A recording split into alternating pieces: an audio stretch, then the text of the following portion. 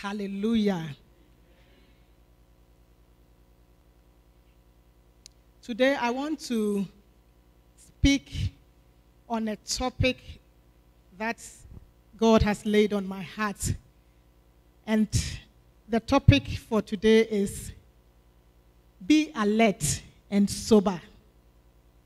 Be alert and sober. Be alert and sober. And I just want to quickly give the definitions that I got from the words alert and sober. And I took the definitions that are relevant, you know, for the context of my message. Now, to be alert is to be able to quickly perceive matters and take appropriate action to prevent disaster or catastrophe. To sorry. Yeah so to take sorry i got into another definition but i want to quickly repeat.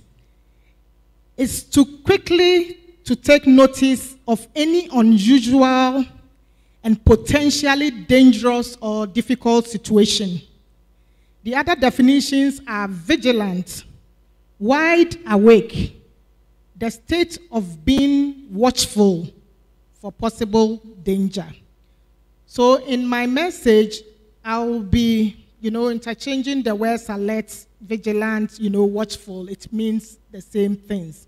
And then the definition of sober, which is relevant in the context of my message, is serious. A sober person is a serious person or sensible person. Now, when we look at our day to day living activities, I just want to give you one example, such as driving. When you are driving a car, those of us who drive, and even those of you who don't drive but sit in the passenger seat, sometimes you stay alert for the driver, right? And then you say, like my mom, my dad will say, Your mom couldn't learn how to drive. But anytime that I was driving, she would say, Hey, Dada, brake. Hey, Dada, slow down. you know, traffic light. You know, she stays alert for the driver. But for us drivers, we stay alert for dangerous situations around us, such as pedestrians crossing the road, children playing on the curbs, riding their bikes and getting onto the road. You stay alert for the traffic light turning red. You stay alert for other cars even straddling the lanes to come, you know, into your lane. And with that alertness, you know, you focus so much on the road. Your eyes are fixated on the road, and even your ears are well alert, right? Because when you hear a noise, you might tend to stop the car and check whether there is a fault or maybe your exhaust has removed. But today, I want to talk about another alertness, okay? Because, for instance, when I said that if you are driving a car and you don't stay alert, you can end up in an accident and do what? Lose your life. Or kill somebody crossing the road. Or damage your car, damage a part of your body. Even if you are cooking and you don't stay alert, you might end up catching fire in your kitchen. But today, I want to talk about another alertness that we have to be mindful of and that one is spiritual. Hallelujah. We need to be spiritually alert. And it is important, even as you stay alert, for instance, driving so that you don't lose your life, it's also important to stay alert spiritually so that you don't lose your soul. Hallelujah. Now, we would be reading some key scriptures, maybe not all, for this message. First Peter 5, verse 8, you can write them down. First Peter 4, 7. First Peter 1, 13 to 15. And then First Corinthians 16, verse 13. Okay. So what do we need to be alert of? What do we need as Christians to be alert of? One, when we read 1 Peter 5 8, can you please project it? 1 Peter 5 8, or if anybody is there, you can quickly read for us. Somebody can get ready with Luke 12 15. And then Philippians 3 2. So it says that 1 Peter 5 8, be self controlled and alert. Your enemy, the devil, prowls around like a lion, like a roaring lion, looking for someone to devour. So it means that we have to stay alert of the devil. Number one, we have to stay alert of Satan and all his schemes that he comes with. The Bible says that he came to steal, to kill, and to destroy. So we have to stay alert of Satan, number one, and his schemes. The second thing that we have to stay alert for or of can be found in Luke 12, verse 15. It says then, then he said to them, Watch out, be on your guard against all kinds of greed. A man's life does not consist in the abundance of his possessions. Watch out. Watch out, which is alert. Be vigilant. So we have to be watchful and alert of the works of the flesh. The works of the flesh. Watch out for the lies, watch out for immoral things, watch out for you know, pornography, if you are here and you've been watching pornographic things, you have to watch out for them because they are all works of the flesh. When you go to Galatians 5, it lists some of the, you know, works of the flesh or evil that we need to watch out for. Now let's read Philippians 3 2, to look at the next thing that we have to watch out for. Philippians 3 and verse 2. It says, Jesus said, Watch out for those dogs, those men who do evil, those mutilators of, sorry, it was Paul rather saying, Watch out, not Jesus. Pardon me. Watch out for those dogs, those men who do evil those mutilators of the flesh. So, this is another thing that we have to watch out for. Now, Paul labels, you know, the dogs as the teachers of Judaism. In that time, these teachers, you know, will impose certain works of the law and ceremonial um, things of the law upon the people. But then, to, and they found they, they thought that that's, those things were necessary for purity and salvation. But they, they themselves were not pure. They did not even abide by the laws. So Paul was telling the Philippian church to watch out for them. They were evil doers. In our time, it will not be the teachers of Judaism but then it will be teachers of certain religious sects that we may listen to with, you know, WhatsApp and everything just going viral and around like that. Sometimes, if you are not careful, you know, you may be drawn into some of the things that these people, you know, tell us to do. For instance, I had a friend years ago when she lost her husband. She was asked by the husband's family, who proclaimed to be Christians, to go and wash, you know, in the sea. And they brought some beads for her to put around her waist. All these things, where can we find them in the Bible? We can't, we, it's not written anywhere in the Bible that when you lose your husband, go and wash in the sea. So we have to watch out, you know, for these things. And By them telling her, they were implying that then she purifies herself and separates herself from her dead husband. So please, let us watch out for these things. Another thing that we have to watch out for, which Jesus said, was in Matthew 7 15. Can you please project it? Or to be alert and vigilant of. Matthew 7 15. Matthew 7 and verse 15. Watch out for false prophets.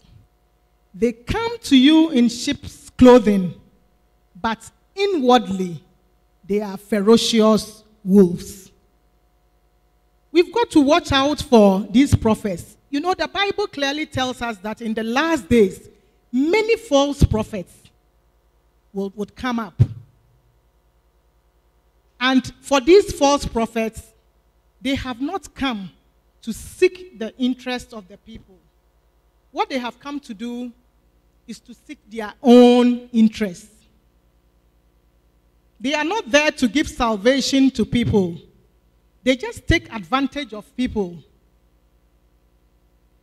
They take advantage, they, they seek to take whatever they can from people to enrich themselves.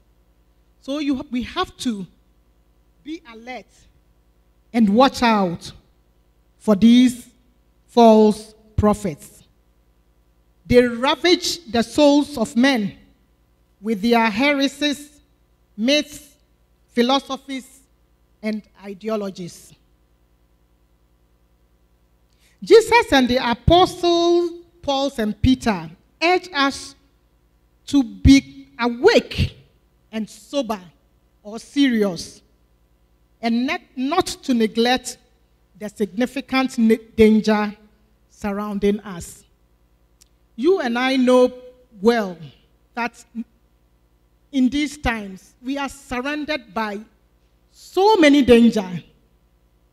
So, so, so, so many danger. And therefore, we ought to be serious with our Christian lives. We ought to be vigilant and we ought to be alert. Hallelujah. I want to just mention the importance of staying alert and sober. The importance of staying alert and sober. You know, when you are an alertful person, you are able to quickly, you know, perceive matters. And then you take appropriate action to prevent disaster or a catastrophe. Or when you are an alert person, it makes you keenly aware of your environment and ready to respond in all circumstances with wisdom and discernment. Hallelujah. So, these are the importance of staying alert. If you don't stay alert as a Christian, you may end up losing your salvation. You may end up losing your soul. Developing a spirit of alertness is a godly character that will greatly benefit the protection of your soul. Now, why are Jesus and the apostles, Paul, urging us to be alert and sober? Why are they, you know, urging us to be alert and sober? We'll go to Matthew 25, 1 to 13. We will not read the whole, but then we'll read maybe 10, the 10 to 13. But then it, it talks about Jesus telling us a popular parable, which probably you and I know from Sunday school. And it talks, Jesus talks about the parable of the ten virgins. The parable of the ten virgins. Now, these ten virgins set out with their lamps, as the story is told in the Bible. And the Bible says that five of them were foolish, and the other five were wise. Now, the wise ones, when they set out on the journey to meet the bridegroom, took extra oil in jars, but the foolish ones did not. And the Bible tells us that the bridegroom was delayed, and they became drowsy and they fell asleep. But then at midnight, midnight, at midnight, there was a cry. Here comes the bridegroom. Here comes the bridegroom. Let us come in. And when they heard the cry, they awake, awoke, and then they trimmed their lamps. That's what the Bible says. But then the foolish five virgins realized that their lamps were going down. So they asked the five wise virgins, Give us some of your oil. They said, We don't have enough. We can't give you. So this takes us to the point that we all have to work out our salvation. Okay? I can't work out my salvation and transfer some to you. Everybody has to work his or her own salvation. so, what happened? The five foolish ones set back to the town to get more oil.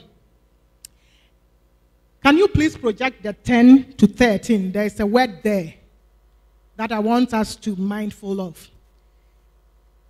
It says, But while they were on their way to buy the oil, the bridegroom arrived. The virgins who were ready, who were ready. Are you ready, my brother? Are you ready, my sister? Are you ready at any time for the coming, the second coming of our Lord Jesus Christ? Are you ready? It says that, so they were ready and went in with him to the wedding banquet, and the door was shut. Can we move on, please? Later, the others, who were the foolish ones, also came. Sir, sir, they said, open the door for us. But he replied, I tell you the truth, I don't know you. Therefore, keep watch. That's what Jesus is telling us this morning. Therefore, keep alert. Therefore, keep vigilant because you do not know the day or the hour. So, the reason why Jesus Christ and the apostles are telling us to keep watch is that we don't know the day, we don't know the hour when our Lord Jesus Christ will come again. We don't want to be caught. It will come, you know, just within a twinkle of an eye. And it is my prayer that you and I will be ready. You and I will be prepared. You and I will be serious with our Christian lives. You and I will not compromise to the lit, to, to, to, to, to something saying, oh, this one, let me do it small. You know, let me do it small. The time that maybe you decide to do that one small, that is the time probably the Lord may come. And you will not have the chance to confess your sins and ask for forgiveness. Hallelujah. So, brethren, let us be watchful.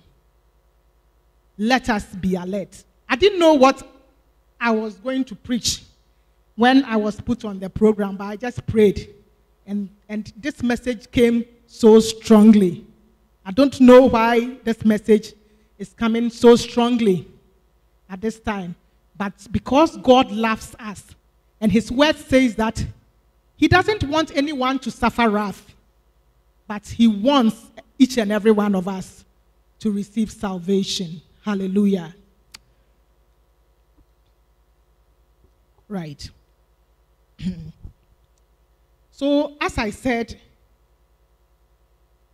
the reason why Jesus and the apostles are telling us to keep alert is just so that when Jesus Christ comes again, we will be ready. Now, let's read First Thessalonians 5 2 and then 4 to 6 and verse 9. So, First Thessalonians 2, right? It says, For you know very well that the day of the Lord will come like a thief in the night.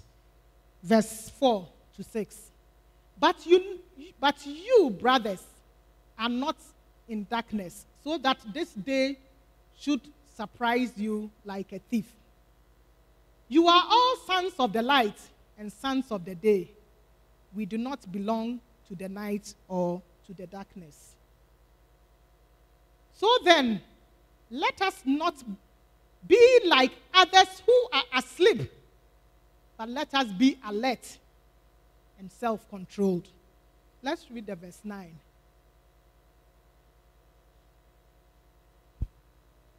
For God did not appoint us to suffer wrath, but to receive salvation through our Lord Jesus Christ. Amen. So, this is one of the reasons that we need to stay alert. Because the day of the Lord will come like a thief. When a thief is coming to steal something from your house, they will not come and tell you that they are coming so that you go and call the security guards or inform the police so that you know they get ready um, to arrest them. No, they come when you know you least expect them. In the same way, that is how our Lord Jesus Christ will come. So, my brothers and sisters, and I'm speaking to myself, the word is for me as well. For me, it's a wake up call, okay, to look into myself and to make sure that I detach myself from certain things which displeases our master. Hallelujah. So this afternoon, I want you to also look into yourself and take a firm stand that moving forward, you also want to be alert. You want to be vigilant. You want to be sober, serious with your Christian life.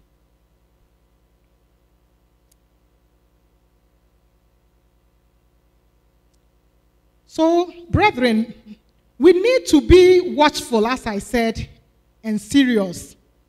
And that calls for a stubborn de- determination not to give an inch of true gospel ground, regardless of changes in societal values, morals, and government policies. You and I know the changes in society, the morals, all the things going on. You know them. I don't need to mention them. This LGBT and, you know, other things, policies that governments are putting in place, which is in contradiction with the Word of God. We need to be alert of these things because we can't afford to fall into the danger of losing our souls to hell.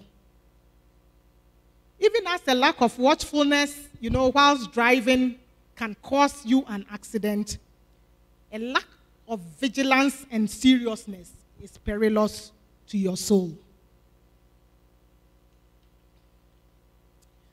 Now, let me tell you just four ways that can help you stay alert. Four ways. One, through unceasing prayer through unceasing prayer. In 1 Thessalonians 5:17, Paul tells us to pray without ceasing. To pray without ceasing. Now, when you cease to pray, you become weak. The saying goes that a prayerless Christian is what? A powerless Christian. So when you cease to pray, you become weak and you become susceptible to sin you become susceptible to the devil. And, you know, he can just easily devour you. He can just easily roar, not just roar, but pounce at you. So it's not a matter of saying this week I've prayed once and that's it. You pray on Monday and then the next time you pray is Sunday when we are here. You have to develop an altar in your home Set up an altar in your home and get dedicated times. I'm not saying set times like 3 a.m. or 4 a.m., but have time, my brothers and sisters, to pray so that you receive strength from God to be able to stand the test of time. The second thing that I want to recommend to you to help you stay alert is through worship. You know, worship causes us to remain in the presence of God. When you have you get up and you feel, you know, down, you feel something, you know, evil lingering into your mind, wanting to do something that you should not do, just worship God. Worship God. Let the let flow, worship God. Go in the presence of God. And by doing that, you realize that you become alert. You become strong. Your focus is on things above, not on earthly things. Hallelujah. So, worship is another way of staying alert.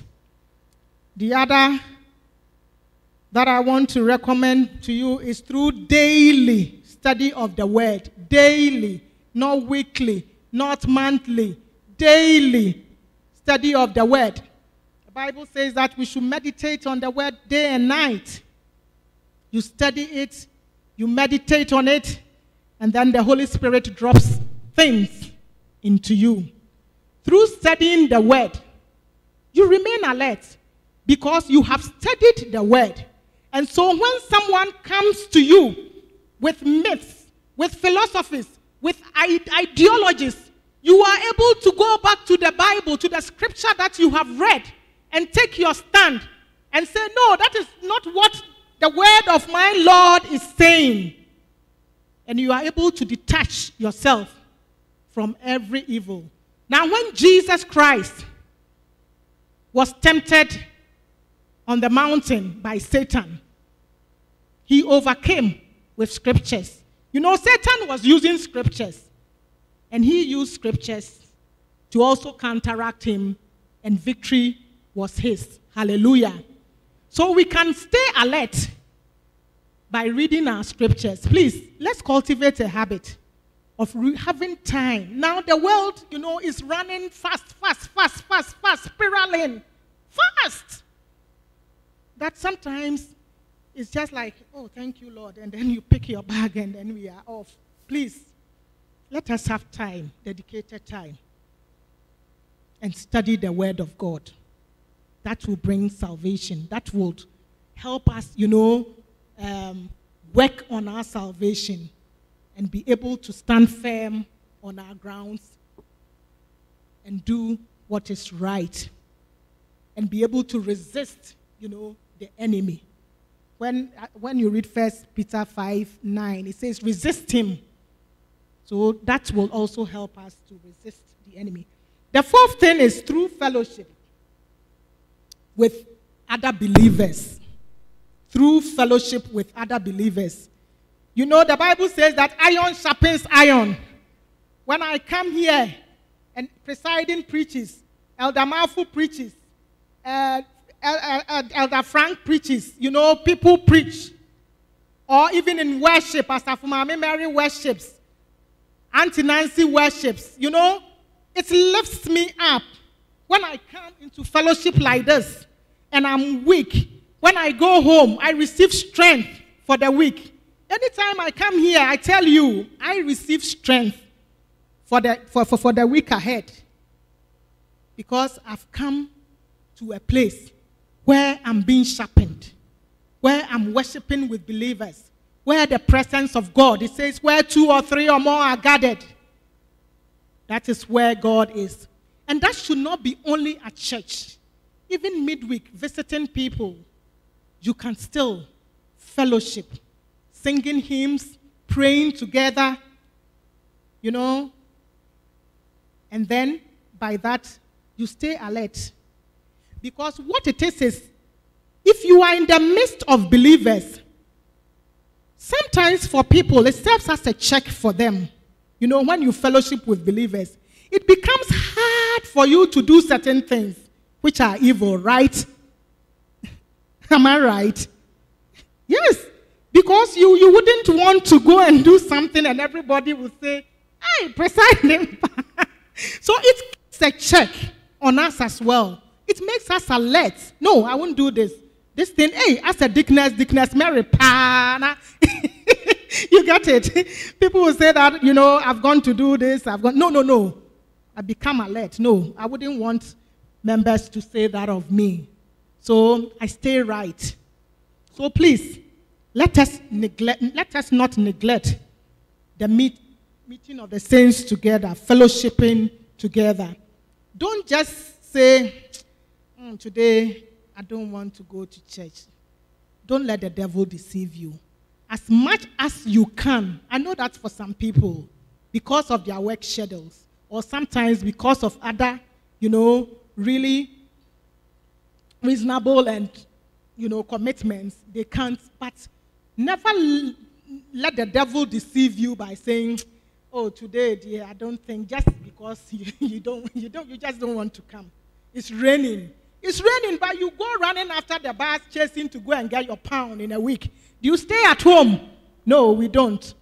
So, snow or no snow, we'll come to the house of the Lord. Hallelujah. Okay. Thank you so much. In saying this, let me also say, add that let us stay alert for each other. Let us be each other's keeper. Let us carry each other along so that none of us, none of us will be lost. Let us love each other because of the love that Jonathan had for David. You know, Jonathan was able to support David to take action against the evil plan of King Saul. So let's love because if I love you, I don't, I don't want, you know, something evil to happen to you. I don't want you to end up, you know, losing your soul. It's my prayer that each and every one of us here and those listening to me through all the social media handles will never be lost to the devil. But then, Edinburgh Church will be a rapturable one. Hallelujah. That all of us, when the trumpet sounds, we will all be lifted up. Those who are dead would also rise up, and then we would also be caught up with them. That none of us, none of us will lose our souls to the enemy. In Jesus' name. You didn't say the amen well. Oh. Then you see, we say, man, ye cry. Anyway, right. We'll continue. I'll finish very soon and we'll pray. So, I would want us to read the three other key scriptures because we just looked at 1 Peter 5 8. 1 Peter 4 7. 1 Peter 4 7. Let's read that too. So it says, The end of all times is near. Therefore, be clear minded. In some of the um, what's the translations, is this NIV? The New King James or King James says, therefore, I think it says, therefore be alert or watchful. Some of the um, um, what's it, versions. Good. So, good. Which, which um, translation is that? New King James, good. That is the one that I think I looked at when I was going through my message. But the end of all things is at hand. Therefore, be serious and watchful in your prayers. Hallelujah. Be serious and watchful. Let's read 1 Peter 1 13 to 15 as well. 1 Peter 1 13 to 15. 1 Peter 1 13 to 15 says, Therefore, get up the loins of your mind, be sober, and rest your hope fully upon the grace that is to be brought to you at the re- revelation of Jesus Christ. Some of the versions says, you know, be alert. As obedient children, not conforming yourselves to the former lust, as in, ignor- in your ignorance, but as he who has called you is holy, you also be holy in all your conduct. Hallelujah. Let's read 1 Corinthians 16 13 as well. 1 Corinthians 16 13 says that, Watch, stand fast in the faith, be brave, be strong. Lastly, let's read Matthew 24, verse 4, and then 10 to 14. Matthew 24, verse 4. Right. It says, Jesus answered, Watch out that no one deceives you. Hmm? Because nowadays, sometimes the way that people interpret things, sometimes, you know, I, I, when I'm chatting with some friends and they are in a situation and the way people and even, you know, some pastors, I'm not talking about, well, pastors somewhere, the way they would encourage them and tell them certain things, when you, you, you put it, you know, in, alongside scripture, you realize that no, it's not a good advice. They are deceiving them. So watch out that no one deceives you. That is why it is important for you to know your scriptures, to study the word. Because most people like spoon feeding. They want all the time pastors, leaders to feed them with the word. But you've got to read the word yourself. Now let's read the 10 to 14. The 10 to 14 says, At that time, many will turn away from the faith and will betray and hate each other. And many false prophets will appear and deceive many people. Because of the increase of wickedness, the love of most will grow cold. But he who stands firm to the end will be saved. That's the last message I'm leaving with you read and meditate on it. See, in the last days, many prophets will come. Evil and wickedness is abounding. And it says that the love of many will wax cold. That is why, you know, this word has hit me so much. And it's my prayer that I'll carry it along my Christian journey. Because I can't afford to lose what, you know, I've done for, for all these years. I think in one of the um, passages, Paul says that you have to guard what we worked for so that you don't lose it. So, whatever, brethren, you have worked for all these years as a Christian, guard it because ter- terrible times, wicked times are ahead of us. So, you've got to be alert and watchful. In conclusion, I want to make reference to the theme of the year. It says, A glorious church revived to possess the nations.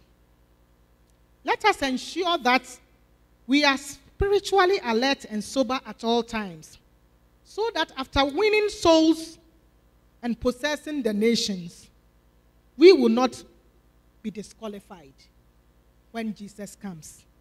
God bless you. Amen. Amen. We have an anchor that keeps the soul steadfast and sure was the billows thrown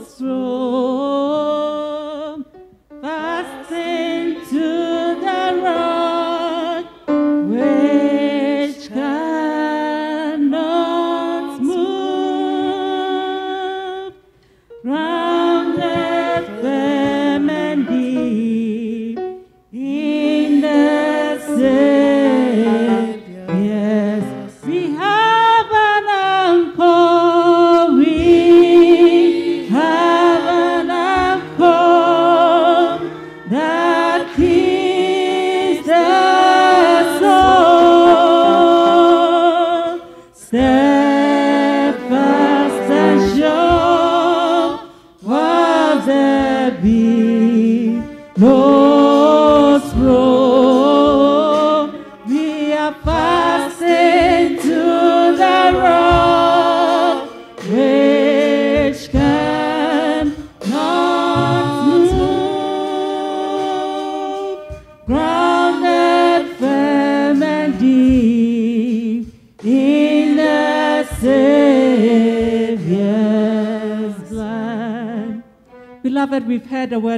today. And in this time and in this season, this is what God has for us. We should be alert and sober. We should be alert of the schemes of the enemy. We should be alert of the things of the flesh that we, we, we cannot let go of. God is telling us to let go and concentrate on things of God, on heavenly things, things that will bring us eternal life, things that will set us apart, things that will make us children of God. Let's pray and thank God for his word unto us. Father, Lord, we thank you this afternoon, O God, for your word to your children. We are forever grateful, O God. Father, thank you so much, O God, for reminding us who we are. We are your chosen ones, O God, and therefore we should be alert and sober. Father, Lord, thank you, O God. Thank you, O God. Thank you, O God. Thank you, O God. Thank you, O God, for reminding us of the season that we are in, of the things that the enemy is doing. Thank you so much, O God. Thank you, O Lord. We can't thank you enough, O God, for you have called us, O God. You have cautioned us this afternoon, O God, and we are forever grateful. Thank you, O Lord. Thank you, O Lord. Thank you, O Lord. Thank you, O Lord. Thank you, Abba Father. We thank you. We also want to pray and ask God to open our eyes. Give us the spirit of discernment so that we'll be able to detach ourselves from things that does not please God. I know the things that I'm doing that are not pleasing unto God, and you also know yours. We are all not perfect. That's why this word has come unto us.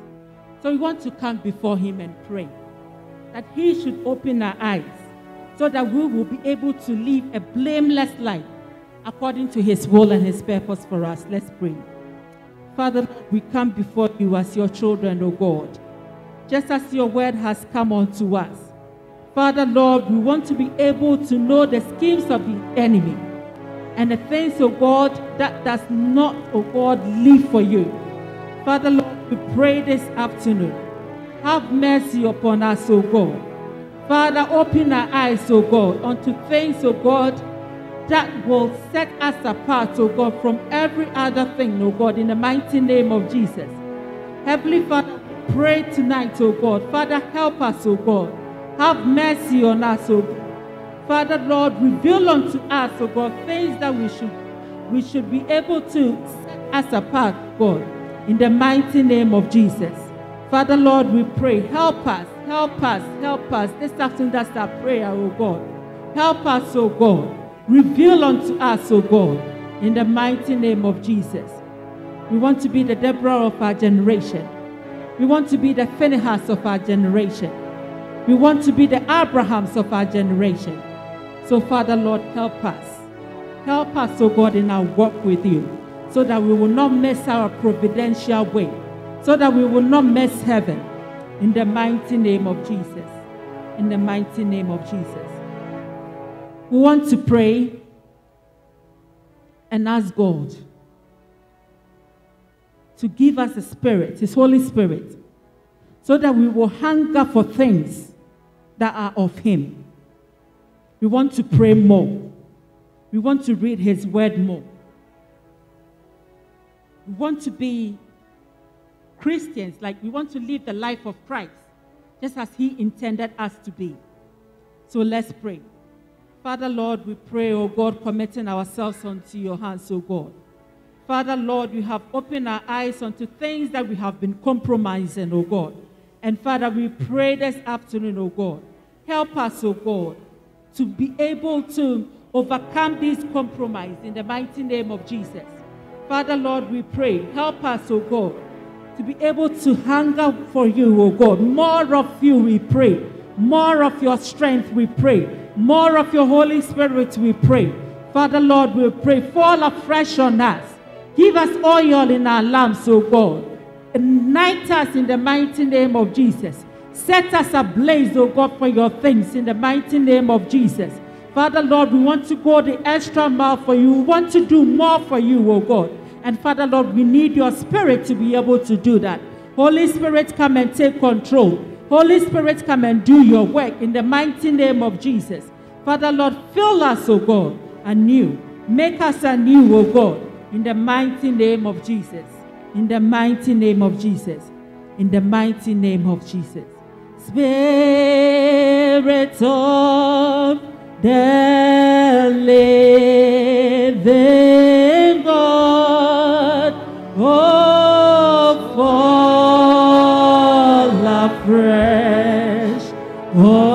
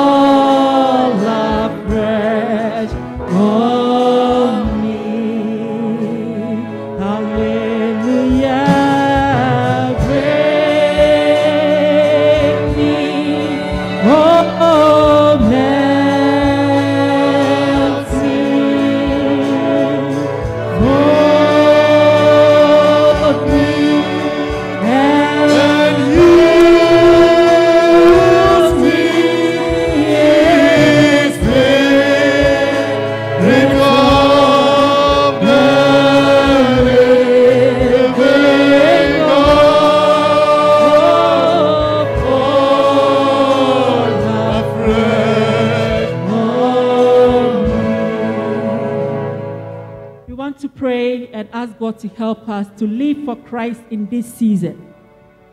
To live for Christ in this season. And I just want you to remember a story about Lot and his wife, about Sodom and Gomorrah, when God wanted to destroy the place because the, that, that, that, that's, those cities were filled with um, too much evil. Lord said to Lord said to the men, because the, when the angel of men went to Sodom and Gomorrah, the men wanted to sleep with them. But God said to the men of Sodom and Gomorrah, I have two virgin daughters.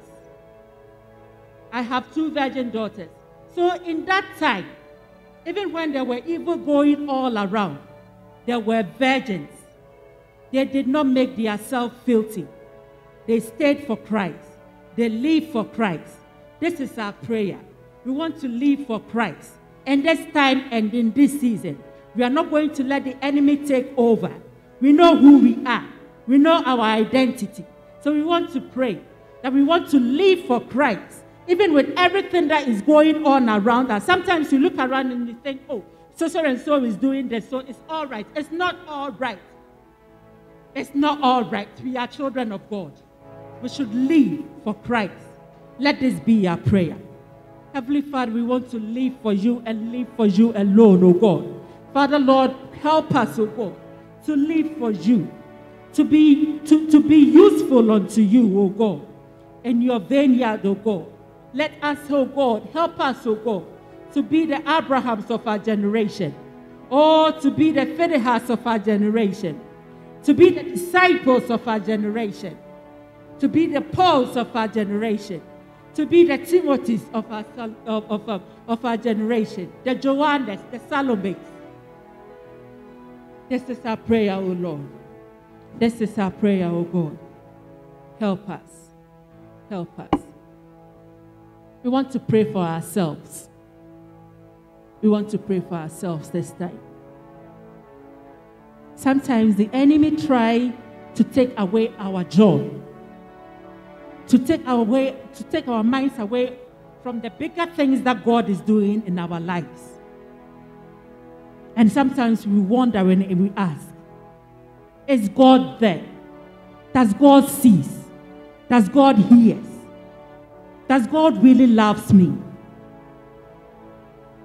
if you have ever asked these questions, even for a second, I want you to pray to God now.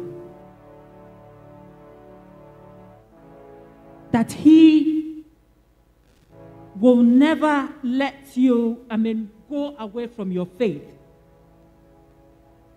That you will stand firm in the Lord, regardless of what the enemy is doing, regardless of what the enemy is taking away from you. God is able to replenish it unto you. Remember the story of Job and what God did for him. Let's pray. Oh, Heavenly Father, you know us, oh God. And you know the things, oh God, that we love to do. Father, we come before you, oh God. Father, you know our desires, oh God. Father, if any, there's anything that the, the enemy has taken away, Father, we pray, oh Lord, for your restoration. We pray, oh Lord, for your restoration. We pray, oh Lord, for your restoration. And Father, we believe and trust in the promises, oh God, that you have said in the, in the good book, in the Bible, oh God, that you are able to do exceedingly and abundantly more than even things that we can even dream of. Father, Lord, we pray this afternoon, oh God, have mercy, have mercy, have mercy, oh God.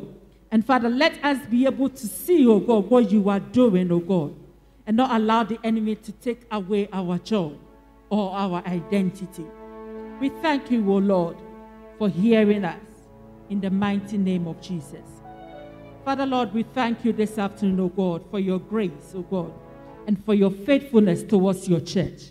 We are forever grateful, O God, and thank you for your word that has come, O God, to caution, to caution us that indeed, O God, we need to be alert and sober.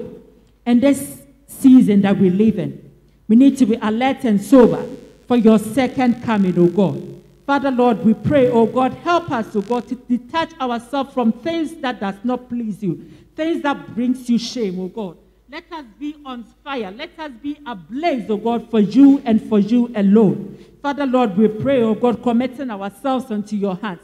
Father, Lord, if anyone who is brokenhearted, Father, Lord, because of your spirit, we send healing unto them in the mighty name of Jesus. Father, Lord, if anyone is sad, Father, Lord, because of your spirit, we send them comfort in the mighty name of Jesus. Father, Lord, if anyone out there, oh God, is looking unto you for anything, oh God, Father, we pray that you will hear unto them, just as you did unto Hannah, just as you did unto Jabez, just as you did, oh God, unto the people of God. Father, Lord, give us testimonies, oh God, in the mighty name of Jesus. Father, let us stand here and say that has it not been the Lord, where would we have been? We thank you, O Lord, for being with us and for protecting us and always being the, our Heavenly Father, the loving Father as you are.